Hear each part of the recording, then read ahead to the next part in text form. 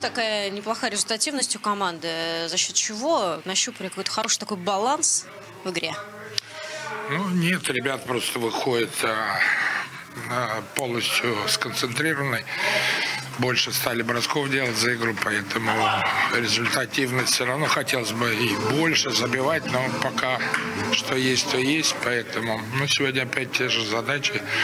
Больше бросков, силовая игра хорошая концентрация. Можно сказать, что Виртанин так как-то сразу влился в коллектив и показывает это на льду результатом лично?